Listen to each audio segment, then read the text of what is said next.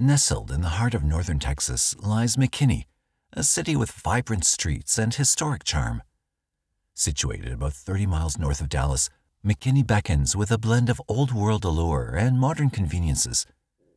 Known for its picturesque downtown square adorned with quaint shops, inviting eateries, and historic buildings, this city exudes a captivating small town feel while offering the amenities of a bustling urban center. However, within this tightly knit community, a disturbing event unfolded. On a calm Wednesday of June 28, 2023, a woman named Tamara Schwab approached the McKinney Police Department to file a missing persons report concerning her 35 year old daughter, Heather Schwab. She informed the authorities that her relationship with her daughter had been strained due to various issues, most notably Heather Schwab's drug use. She mentioned not having any communication with her daughter for over a year. This prolonged absence had led to escalated concern, prompting her to express worry and urgency regarding her situation. As the investigation commenced a year after the last known contact with Heather, it led police to anticipate a potentially complex case to resolve. However, as they delved into the investigation, various details gradually emerged, unveiling the circumstances one by one. Initially, the police became aware of Heather's connection with a man that she'd been residing with, 42 year old Chad Christopher Stevens. Tamara, Heather's mother, disclosed to the authorities about her daughter's abusive relationship with Stevens. She conveyed Heather's apprehensions, mentioning that on various occasions in the past, Heather had expressed fears to her mother believing that Stevens might ultimately harm her and conceal her body. Tamara also mentioned being in touch with a neighbor near Stevens' residence who used to provide her with updates on Heather's whereabouts. However, the neighbor informed her that they hadn't seen Heather for several months, which is what prompted Tamara to file the missing persons report. These alarming statements raised significant concerns, prompting a closer investigation into Stevens.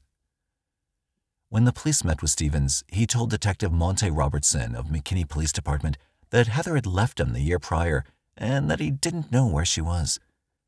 Robertson remained dissatisfied with this response, yet lacking a warrant, he couldn't press further. The case was slowly becoming unsolvable. However, seeking additional leads that could potentially result in an arrest, Robertson contacted Tamara once again. On November 3, 2023, Tamara revealed to the police that Stevens had been married before and that she'd heard his ex-wife make a serious accusation, claiming that Stevens had killed Heather and buried her in his backyard. Robertson traveled to Oklahoma on November 4, 2023 to interview Stevens' ex-wife and daughter. The daughter revealed to the authorities that although she didn't communicate with her father frequently, she contacted him on November 2nd to inform him of her pregnancy. His response was alarming. He became very upset and allegedly threatened to harm both the unborn baby and her, insisting she lose the baby or face dire consequences. The daughter cautioned him against making threatening remarks, emphasizing the seriousness of such statements, especially considering his girlfriend's disappearance. Stevens asked his daughter if she thought he was responsible for the disappearance. She told the investigator, per the affidavit, that Stevens had sarcastically stated that he'd killed Heather and buried her in his backyard. Stevens also remarked that even if he had taken action against Heather, the potential punishment would only be five years in prison for concealing the body, stating he was aware of this because he'd looked it up. A detective obtained video footage and photographs of Stevens' property, which revealed several unusual elements in the backyard that piqued investigators' interest. Additionally, authorities reached out to another ex-girlfriend of Stevens who claimed he assaulted her in January 2023. Armed with this information, the police eventually obtained a search warrant for Stevens' home on November 12, 2023 for an assault connected with his ex-girlfriend. And on November 12th, the entire community of McKinney was rattled.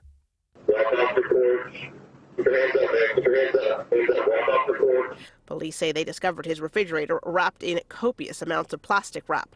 According to the police affidavit, it was in the home's kitchen that had suspiciously been closed and concealed from the remainder of the residence with a piece of sheetrock. Inside it, they found a small statured human body identified by the Collin County ME's office as Heather Schwab. Stevens was arrested on the spot and was taken into custody. Under questioning, he admitted to concealing Heather's deceased body in his refrigerator after her demise at his residence more than a year earlier on July 26, 2022, due to his confusion about what steps to take. As additional inquiries ensued, his accounts became contradictory. Nonetheless, he eventually informed the authorities that Heather had fallen in the shower, resulting in a head injury. The narrative appeared fabricated, resembling a common tactic to evade the truth. Nevertheless, the police required additional details about the case before shutting the case once and for all. The police suspect that Heather might have passed away around August 12, 2022, coinciding with a reported domestic disturbance where a woman was seen wielding a firearm while a man yelled at Stevens' address. Stevens is presently held at the Collin County Detention Facility with a bond set at $150,000. It remains uncertain whether he's retained legal representation. The investigation is still ongoing at this time. On the quiet Monday morning of July 17, 2023, the Lincolnshire Police received a call like no other. It was 9 a.m., and the call came from St. Mary and St. Nicholas Church in Spalding. The caller reported an injured woman found outside the church grounds, lying unconscious in a tent with blood staining her clothes. But upon arrival, the officers made a grim discovery. The woman wasn't just hurt, she was dead. She'd been dead for seemingly some time. The officers estimated at least a week. This young woman, full of life's potential, now posed a haunting puzzle. Word of the tragedy traveled fast, and through whispers and shared memories, a name emerged Colette Law, a 26 year old young woman whose life had been abruptly cut short. How did she end up in a tent outside a church? And most importantly, how did she die? Spalding, a charming market town nestled within Lincolnshire County in England, lies approximately 130 kilometers north of London. This peaceful haven, with its small population, boasts a surprisingly good market culture for its size. Life in Spalding moves at a gentle pace, known for its friendly community spirit and rich farming heritage. It's a place where neighbors lend a helping hand, children play in cobbled alleys, and evenings unfold in friendly pub corners. Crime rates are generally low, with most incidents being minor in nature. This tranquil setting, where everyone knows everyone, would soon become the backdrop for a tragedy that shattered its sense of security, forcing its secrets to rise to the surface. Born under the late summer sun on August 28, 1996, Colette Law entered the world to parents John Law and Patricia Law. Her two elder sisters, Jennifer and Patricia, filled her family life with laughter and shared experiences, from lively karaoke nights to simple family outings. Her childhood unfolded along the streets of Greenock, with St. Mungo's Primary and St. Stephen's High School shaping her early years. Colette, from her teenage years onward, was a bubbly person who loved to spend time with her friends. Her natural humor and infectious happiness would light up the room. While she was the perfect party animal, there was also a side to her that cared deeply about the people around her. She was always ready to lift the spirits of anyone feeling down or lonely. Colette was a spark of creativity. Her artistic spirit found expression in dreams of bigger stages. She twice attempted to step into the spotlight of X Factor and also explored the world of acting and singing through platforms like TikTok. Behind the bright smile, though, she carried the weight of ADHD, a diagnosis that added a layer of complexity to her journey. Colette Law was a warm hearted individual, often described by her mother as polite and filled with love. She aspired to become a nursery nurse, a dream she pursued through dedicated coursework.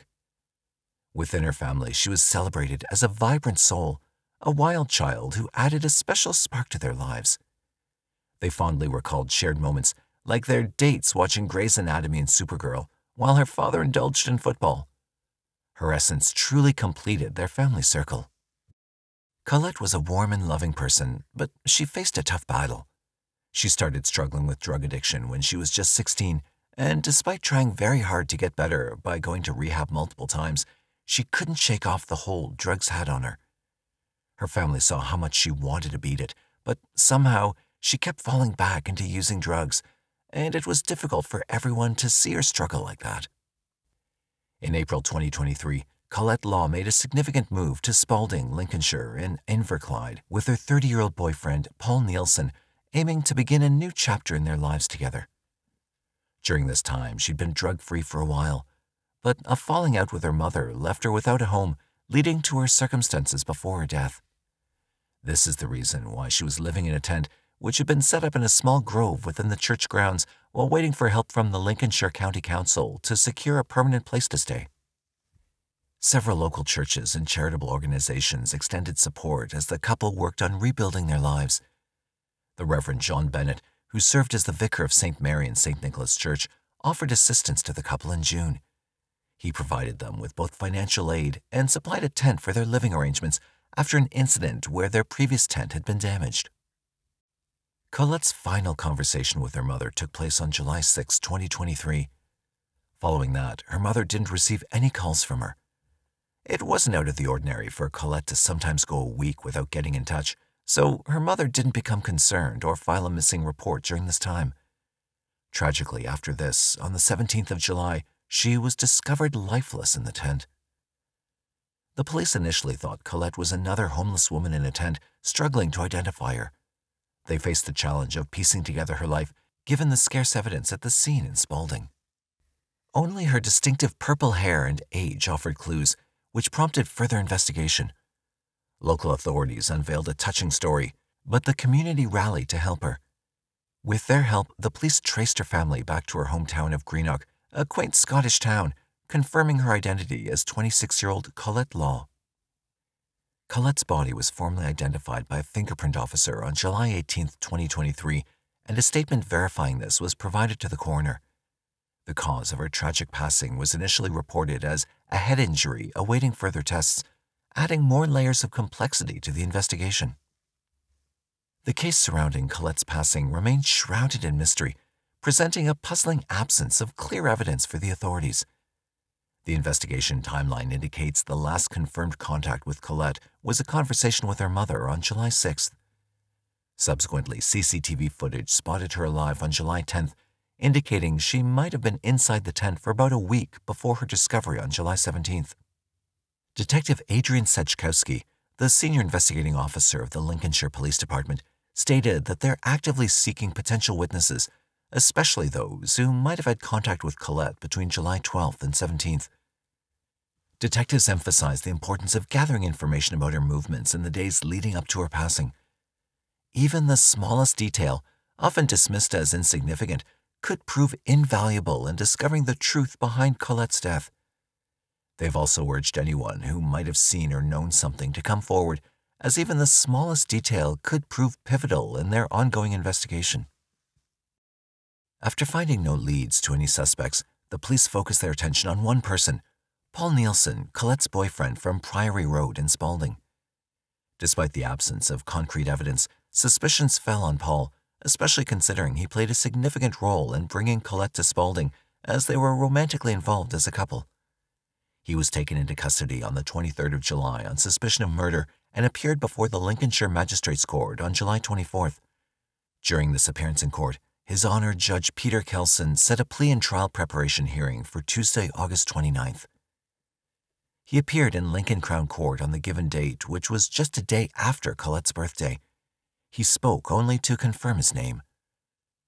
Following this court appearance, the police made a significant discovery on September 18, 2023. They issued an appeal for a crucial witness captured on CCTV, a man riding a bicycle, to come forward and assist in their ongoing investigation. Lincolnshire police took the unusual step of sharing an image of this potential male witness believing he held information vital to the case. Detective Inspector Adrian Sechkowski of Lincolnshire Police emphasized the importance of this appeal, stating that they're seeking assistance in identifying this man whom they believe is a witness. His information could be crucial as they continue to look into the circumstances surrounding the tragic death of Colette. In Lincoln Crown Court on December 8th, Nielsen pleaded not guilty to charges of murder and manslaughter he remains in custody, denying these allegations, as he now awaits the provisional trial date scheduled for January 22, 2024. While the legal proceedings are ongoing, the police have urged people to refrain from speculating or making assumptions. Colette's devastated parents expressed their anguish when police officers arrived at their home with the news of their daughter's demise. Patricia Law recalled the overwhelming moment and mentioned that they felt nothing. They simply collapsed. Both sorrowfully expressed the sentiment that no parent wishes to bury their child. In their 60s, they never anticipated having to bury any of their children. It should have been the other way around. Colette's mother expressed her sorrow that she couldn't see her daughter due to the extensive decomposition of her body. According to the family, Colette passed away from a brain injury. Sadly, they mentioned being unable to bid her farewell due to the condition in which she was discovered. On her recent birthday, Colette's mom shared a picture and wrote a message. She wished Colette a happy birthday and said she would have been 27, but her life was cut short. Her mom said a part of her heart is gone and can't ever be replaced. She expressed the longing to trade places if it were possible, knowing Colette had a promising life ahead of her. Her sisters now face growing up without her, missing the milestones of marriage, children, birthdays, and celebrations. Life feels tough now that they're a family of four instead of five. She ended the message by saying she loved Colette a lot and hoped to meet her again someday on the other end. Colette garnered affection not only from her family, but also from those who knew her briefly. For instance, after the police cordon vanished, Mr. Bennett, the priest at St. Mary and St. Nicholas Church, ventured into the wooded area to offer a prayer for Colette.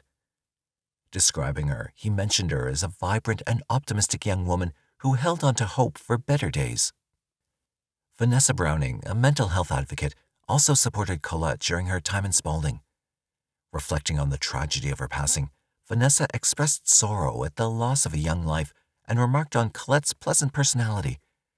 She hoped that the community could unite in offering more support to homeless individuals. The investigation into Colette's death in a tent near the church remains a bit unclear. Though suspicions point towards her boyfriend, there's only circumstantial evidence, leaving their relationship ambiguous. As the trial nears, the search for more evidence persists in pursuit of justice for Colette and her family. Her life was one of resilience despite challenges, but sadly, it was cut short. While her boyfriend is held in custody, it's important to remember that he's innocent until proven guilty. Right now, all we can do is share this information and hope that justice is served for her. This isn't just another case, it's a plea for awareness.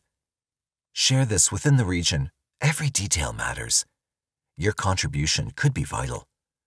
If you have any information or footage, please utilize the dedicated Major Incident Public Portal at mipp.police.uk backslash operation backslash 33EM23C97 P01. Alternatively, you can contact crimestoppers-uk.org online or call 0800 555 111 anonymously. Your assistance is crucial in this pursuit of justice for Colette Law. Nestled in the state of Florida, in the midst of Orange County and to the northwest of Orlando, lies the city of Apopka. The place enjoys a convenient location with easy access to the bustling metropolitan areas and scenic attractions of Central Florida. Famous for its picturesque landscapes, including expansive parks, serene lakes, and lush greenery, Apopka offers a relaxed lifestyle immersed in nature's beauty. The city embraces a blend of suburban charm and rural appeal, fostering a close-knit community spirit. While Apopka generally remains distant from high levels of criminal activity, it couldn't avoid a shocking event that occurred on November 18, 2023. However, the chain of events commenced a few days earlier with the filing of a missing persons report to the Winter Springs Police Department. Shakeira Yvonne Rucker, a 37-year-old mother of four residing in Winter Springs, became the subject of the missing persons case. The last sighting of Rucker was on November 11th when she departed from her residence at around 7.30 p.m., headed for an unknown destination, possibly in the company of her estranged husband, Corey Hill. The search for Rucker commenced soon after the report was filed and spanned across four counties, involving assistance from multiple law enforcement agencies and support from the FBI. Winter Springs Police Chief Matthew Tracht, alongside a dedicated team of investigators, committed to working 16 to 18 hour days to swiftly resolve the case and provide closure. After a strenuous week of intensive efforts, their perseverance paid off when, on November 18th, they finally located Rucker. Very sad breaking news tonight. Just minutes ago, the Orange County Sheriff's Office confirmed that missing mom from Winter Springs has been found dead. Investigators say her body was discovered in a storage unit this evening in Apopka after she disappeared last weekend. The Orange County Sheriff Department was alerted via a 911 call on Saturday, November 18, 2023, that reported a strong odor emanating from a storage unit facility in Apopka. At approximately 5 p.m., law enforcement arrived at the site situated at 2400 Wiggins Road, roughly 20 miles northwest of Orlando. And within the confines of the storage unit, the quest to locate Shakeira Rucker came to an end, but in the most horrible way. Upon unsealing the unit, deputies found Rucker deceased, displaying evident gunshot wounds. Even though Rucker's destiny had been determined, the pursuit of justice began. Amidst the entire narrative, one individual remained the focus point of the investigation. The person the storage unit was registered to, none other than Rucker's estranged husband, 51 year old Corey Hill. When they looked for him, police found that on November 13, 2023, Hill had already been incarcerated in the Orange County Jail for a different incident merely five days before law enforcement discovered Rucker's body. He is already in the Orange County Jail uh, and charged with four counts of attempted homicide for shooting at his girlfriend and family back on November 12th, and he is under, under no bond status. And I say all that to say that uh, we have plenty of time to continue collecting evidence and, and testing to build our case, uh, so to charge Corey Hill with Shakeira's murder. So I'm saying that he is the suspect. We're not looking for anyone else. He will be charged uh, with the murder. So while the investigation continues, it appears that Corey Hill's story has reached a conclusive point. Boston, situated in the northeastern United States, is a vibrant city renowned for its rich history, academic prowess, and diverse culture. Nestled in Massachusetts, it stands as a hub of education, home to prestigious universities like Harvard and MIT. Apart from its cutting edge academic programs, Boston's lifestyle embodies a dynamic mix of tradition and contemporary living, offering a multitude of cultural experiences, renowned sports teams like the Red Sox and Celtics, and a thriving culinary scene featuring diverse cuisines. However, on November 1, 2023, Boston found itself thrust into the spotlight not for its usual accomplishments, but due to a tragic incident involving a woman named Margaret Mbitu. 30 year old Margaret Mbitu was a resident of Whitman a town positioned approximately 23 miles to the south of Boston. Born in 1993, Maggie Mbitu was the youngest member of a family deeply entrenched in the healthcare profession. Both of her two older sisters and her mother were dedicated nurses. The Mbitu family emigrated from Kenya to the United States in 2007. Margaret pursued and earned a nursing degree from Curry College in Milton, Massachusetts, a testament to her commitment to the healthcare field and her dedication to furthering her education in her chosen field of service. For about seven years, she passionately served as a nurse. Her most recent role was at Brockton Area Multi-Services Inc. in Halifax, a nonprofit organization aiding individuals facing developmental disabilities, mental health concerns, and behavioral challenges. Her life followed a familiar routine, characterized by dedicated days of diligent work, and October 30th, 2023 started off no differently. Like any other day, Margaret commenced her day by starting her white Toyota Venza and drove to work in Halifax, dressed in black pants, a gray shirt, and a black cardigan. After a strenuous day of service, she departed for home. However, little did anyone anticipate that that night would mark the final sighting of Margaret Mbitu as the clock struck 11. She was a no-show at her job the next day, which was uncommon for her.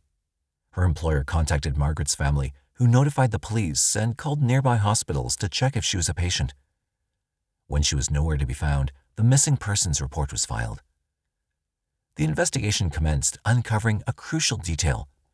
Margaret was romantically involved with a 40-year-old man named Kevin Kangethe, who had been residing in Lowell, a suburb situated in northwest Boston. Along with this, it was revealed that Margaret's cell phone remained active, providing location data via GPS tracking. So, utilizing license plate recognition cameras, law enforcement first traced the movements of Kangethe's Toyota SUV, which aligned consistently with the location data from Margaret's phone. This sequence of evidence substantiated the growing belief that she'd been indeed been in the company of Kevin Kangethe before she disappeared. Two days after she was last seen, on November 1, 2023, authorities traced the vehicle's movement from Lowell to the Logan Airport parking garage. In a tragic turn of events, law enforcement discovered Margaret Mbitu's lifeless body inside Kevin's SUV parked in the airport garage. Her body was found in the front passenger seat bearing slash and stab wounds on her face and neck as reported by the state police around 6.30 p.m. The scene was described as distressingly bloody, transforming the missing person case into a chilling murder investigation. All attention shifted to Kevin Kangethe as the prime suspect in this heinous crime. Upon deeper investigation, authorities uncovered that Kevin had purchased a plane ticket to Kenya the previous morning. Surveillance footage captured his department from the parking garage, depicting his entry into an airport terminal and subsequent boarding of a flight bound for Kenya. Further inquiries into the case are being closely guarded, with details surrounding the motive for the murder remaining undisclosed. Kevin, having fled to Kenya, remains the primary focus of the search efforts, prompting collaboration between local law enforcement and authorities in Kenya to locate him. Suffolk County District Attorney Kevin Hayden has made a public appeal urging the suspect to surrender himself, emphasizing the importance of seeking justice for Margaret Mbitu. Law enforcement officials have reiterated that there's no perceived threat to the public or travelers at Logan Airport amidst the ongoing efforts to locate the suspect. Despite the ongoing investigations, no recent updates have been released to the public, but according to former Massachusetts State Police Trooper Todd McGee, this is the process that's currently ongoing. Holbrook is a small town located in Navajo County, Arizona. Nestled amidst the beautiful landscapes of northern Arizona, Holbrook offers a laid back lifestyle that embraces the charm of rural living. The community here is tight knit, fostering a friendly atmosphere where residents often come together for local events, festivals, and support each other through various community initiatives. Nevertheless, even within this serene rural town, an uncanny incident unfolded in 2023 leaving the community utterly shocked. On November 6, 2023, the Holbrook Police Department was alerted when a missing persons report was filed involving 54 year old Christi Lynn Romero, who was a divorced mother. The report filed by her family indicated her sudden unresponsiveness to phone calls and her unaccounted whereabouts. Romero's son also reached out to police, saying that he couldn't find his mother at her home. Due to the fact that the door had been kicked in and past um, involvements with these two, we felt that she might be in danger, so we entered it as a missing person endangered. During the initial 48 hour period after her disappearance, officers visited Romero's residence where they discovered that she was not present and her vehicle was also missing. Furthermore, evidence of a forced entry into her home was found, prompting an extensive nationwide search for both Romero and her car. Additional crucial information that was obtained revealed that just prior to her disappearance, Christi Lynn Romero had been involved in a relationship with a 34 year old man named Richard Rodriguez, but they were later estranged. Consequently, this fact placed Rodriguez as the focal point of the investigation. The Holbrook police suspected Rodriguez of forcibly entering Romero's residence and compelling her to leave. Additionally, they learned that Romero possessed a 9mm handgun, which was not discovered at the scene and was presumed to be in possession of her estranged boyfriend. Efforts to locate Rodriguez commenced, yielding a trail of clues in quick succession. Police Chief Nathan Christensen disclosed that cell phone data indicated the couple's presence on the 10 freeway en route to California, where Rodriguez had familial ties. Newly released surveillance video shows a stop police say Rodriguez made at a Chevron gas station in Arizona while on his way to California Monday. He pulls up at 12:39 a.m., seemingly unaware of where the gas cap is because he circles a few times. Christi is nowhere in sight. At one point the suspect walks up and later appears to fill his tires with air. After a total of about 15 minutes, he leaves. Prompt action by Holbrook police involved contacting the LAPD and California Highway Patrol to alert them about Rodriguez.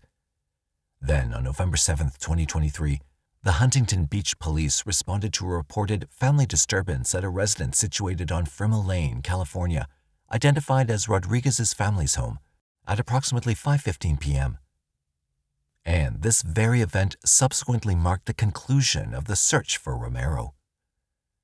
Romero's vehicle, a 1995 red Plymouth Neon, was parked outside the residence, and upon inspection by the police, Romero was tragically discovered deceased in the trunk of her car. A subsequent search of the house led to the apprehension of Rodriguez, who was found inside the residence. He was arrested on the spot by law enforcement authorities. Subsequently, the police records revealed that Romero and Rodriguez had contacted the police multiple times over the last few months due to various incidents. The initial call involved Rodriguez's altercation with another individual at a Holbrook dollar store, where both parties drew knives on each other, although no injuries were reported as a result of the confrontation.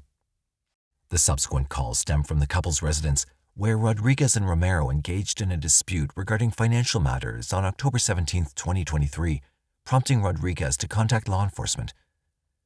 According to the police chief, Romero expressed her desire to evict Rodriguez from the house due to the disagreement. However, as Rodriguez didn't have an alternative place to stay, a compromise was reached. The couple agreed that Rodriguez could remain in a separate room as long as he respected Romero's space and privacy. On Halloween, the couple made another 911 call due to a dispute over rent. The final altercation occurred on November 1, 2023, where Romero reported to authorities that Rodriguez had threatened her, stating intentions to cause harm to her and her vehicle. During interrogation, Rodriguez denied the allegations against him and claimed that he was the one being threatened by Romero instead. The police investigation revealed that Romero had obtained an order of protection against Rodriguez on November 2, 2023, mandating his departure from their shared residence and requiring him to remain a distance from her. Subsequently, Rodriguez sought refuge at a shelter designated for unhoused individuals. As of now, Rodriguez remains in police custody, and the investigation is ongoing as preparations for trial are underway. Eastpointe, situated in Macomb County, Michigan, is a dynamic suburban community located just northeast of Detroit. Known for its convenient location and easy access to major highways, Eastpointe offers a blend of urban amenities and a suburban lifestyle. Residents here enjoy a diverse community with well-maintained neighborhoods and various local parks and recreational facilities. With a range of dining options, shopping centers, and proximity to nearby urban hubs, Eastpointe provides a comfortable and family-friendly atmosphere for its residents. However, the story that we're about to share isn't a regular story for Eastpointe. The case began in September 2023 when Samantha Guinther, a 47-year-old mother of two, was reported missing by her daughter. Her daughter expressed that while it wasn't entirely unusual for Guinther to miss phone calls, she hadn't received any communication from her mother since June 18, 2023. Concerned by the extended silence, the daughter raised an alarm regarding Guinther's absence. The disappearance presented initial challenges for solving, given that the crucial 48-hour window had already elapsed.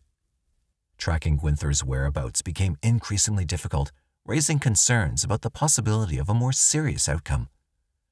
Despite initiating the investigation, there were no immediate breakthroughs or significant leads in the initial stages.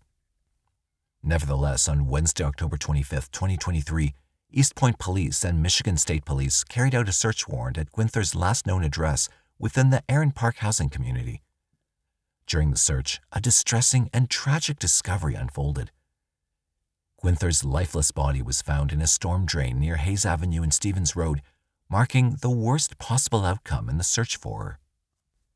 While the details were withheld, on that very day, Guinther's son, 26-year-old Justin Jackson, and his friend, who was present at Guinther's residence, were apprehended and placed in custody.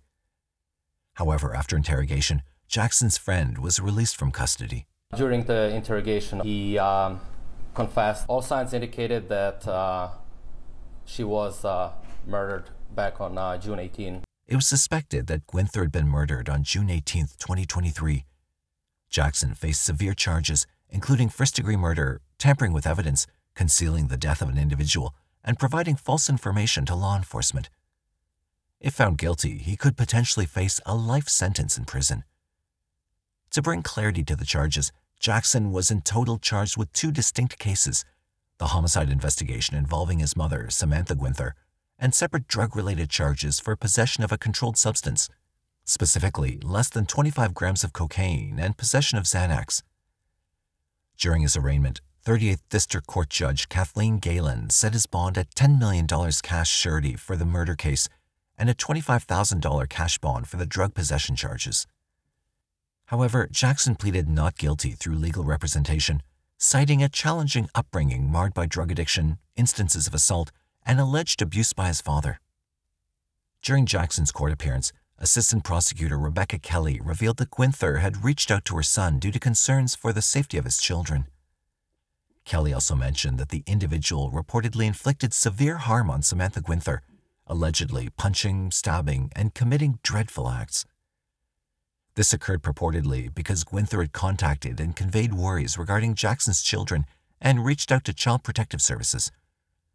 Additionally, it was indicated that multiple weapons were allegedly used during this tragic incident. Jackson's subsequent court appearance for a probable cause hearing was on November 8, 2023. The preliminary exam was slated for November 15, 2023, but as of now, no further updates have been disclosed to the public regarding the case.